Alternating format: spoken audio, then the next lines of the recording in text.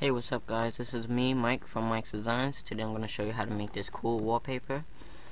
And so basically what's so cool about this wallpaper is that what you're seeing is kind of like in perspective. So it's like uh kind of it's like you're in a box. And you got this cool scenery in this box with this nice effect here with the lines. Uh, also how to make this cool looking floor right here. It's kind of like a kind of mosaic tile kind of floor thing. And also in this tutorial I'm going to show you how to make a cool reflection like this and also make your cool little bubble. So you may you know make a little cool transparent bubble like this and put your name or something in it. And you don't have to just do this with a bubble. You could do this with shapes. Uh, you could do this with text. So that's what I'm going to show you today in this tutorial. I hope you enjoy and by the way this will be also available in HD so if you feel like watching this in high quality uh, just go down to the bottom corner of this video and click in watch in high quality. Alright so I'm gonna open up my Photoshop.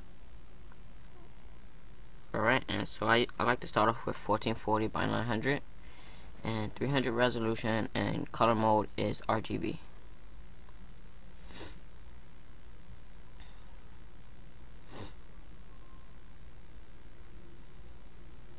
okay so once my uh, document loaded up what I like to do is start off with a, a, like a dark gray. So if you click on the foreground icon right there select on web web colors only.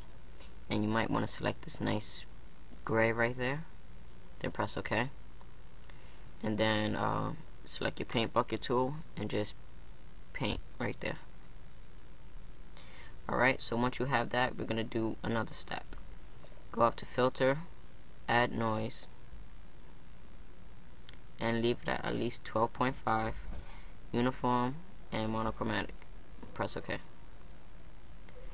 Okay, so next what you're going to do is go to Filter, uh, um, Filter Gallery. Okay, from there you're going to want to select texture, the tab right there, and select patchwork. Then increase the square size all the way up to maximum, so that's about 10, and the relief is 0. And then you should get this preview right here of what it looks like. Okay, so after I finish rendering, you get this nice, you know, squares here.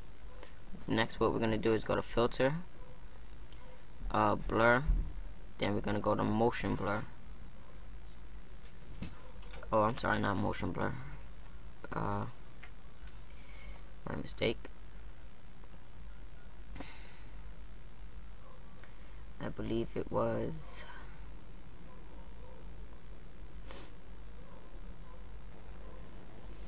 hmm. Which was it? Uh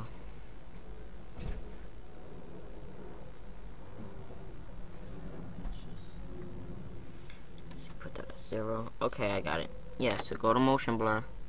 Make sure your angle is at zero and you can put the distance as much as you want kinda.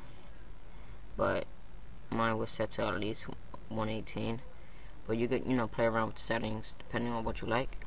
But yeah so the angle is on zero and distance is 188 pixels. So press ok so once you get that nice line background right there it's always best to do this on a separate layer so I'm gonna double click on that and I'm press OK. So to unlock that layer, and I'm gonna, create a new layer. Now this layer is gonna be for that floor we saw. So this floor, this nice flooring right here, we're gonna make that. Okay, so go into Photoshop and then we're gonna select black this time. So take your paint bucket tool and then paste right on that new layer we made. Go to filter, noise, add noise. Okay, so once you have that, press OK, the same settings, filter, pixelate, color, halftone. No, I'm sorry, don't do color halftone. Uh, yeah, so go back into filter gallery, and we're gonna select that same patchwork we did with the same settings. You should say you should see the same. Uh, you should see well, kind of a different tiling, but pretty cool tiling. So press OK. Okay, so once your whole layer looks this way, I'm gonna go to edit, free tran I mean transform, and then go to distort. From there, you want to take these and just push it down just like that from the corner. Not holding shift or anything. And get it and try to get it matched up with the lines on the background. So I'm gonna put it down fairly low kind of match up with what I'm trying to get here. Okay, something like that. Press enter. So once you have that, I'm just gonna check here. Okay. So once you have that, uh, next you're gonna wanna select your line tool. So go right there and select your line tool. Okay, so make sure there's no style selected and go to black. So next we're gonna hold shift this time and try to get to the very corner. So I'm gonna zoom in here. Okay, so as you can see at the very corner, uh, I'm gonna select my line tool. I'm trying to get to the very corner and hold shift and go all the way up to the very top of the, the layout, the background we made. So I'm just gonna zoom out make sure. So it's okay to go over or out outside of the document. It's better that way so that you can nudge it down if you need to or nudge it up if you need to. So do the same for the other corner. Hold shift and bring that up. Okay, so once you have that, select your move tool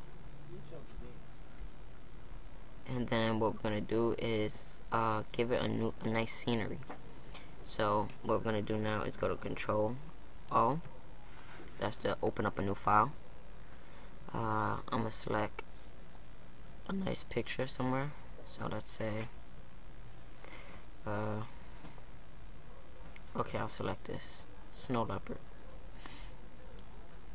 And uh, let me check the time here. So it's going on seven seven seven minutes. So if this does uh, go on to another video just check out part two of this video. I'll try to squeeze as much as I can in this one but if anything check out part two. Okay so once you have your background double click on the background layer and just unlock it next hold the control button on your keyboard and then select the thumbnail of that picture you should see everything on the, the outer outer pictures um, has a selection over it, right? Press Control C on your keyboard. Excuse me. Alright, Control C. And then what we're going to do is minimize this picture and go back into our document that we was working on. Next, we're going to go press on your keyboard Control V. That'll paste the whole picture, but it's a fairly large picture, so what I'm going to do is press Control T and just zoom out just a bit or just resize it something like that I'm gonna leave it like that press enter then what I'm gonna do is bring that layer down behind almost everything besides the background layer that we made with the lines.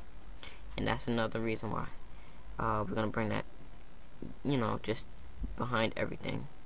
Next we're gonna go to select the, the layer 0 we have here go to multiply.